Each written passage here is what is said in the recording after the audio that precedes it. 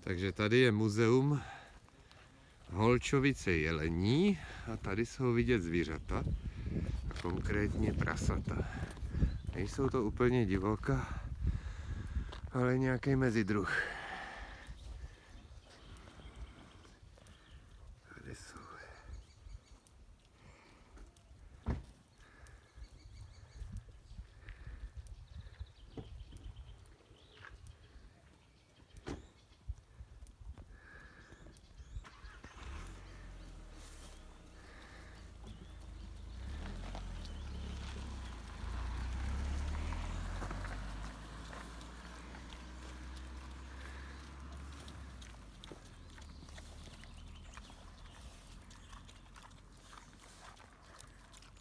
Tady se živí šrotem.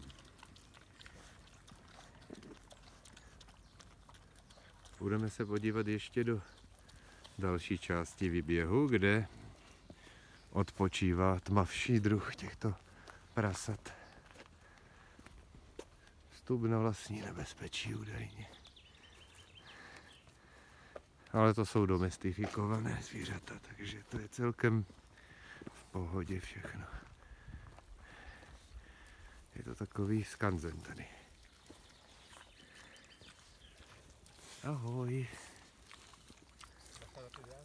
To.